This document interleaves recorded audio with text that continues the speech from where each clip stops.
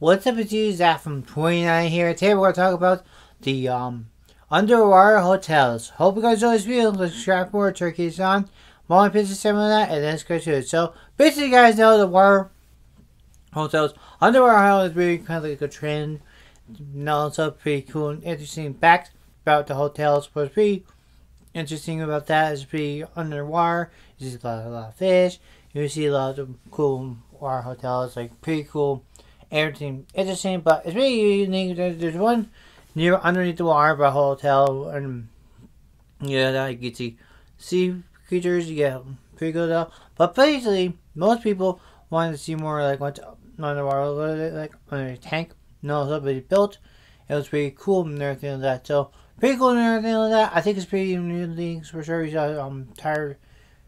Tringham did this one back a couple of months ago.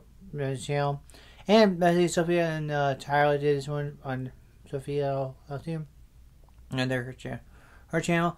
But I think it's cool. It's um, lots of interesting about the aquariums.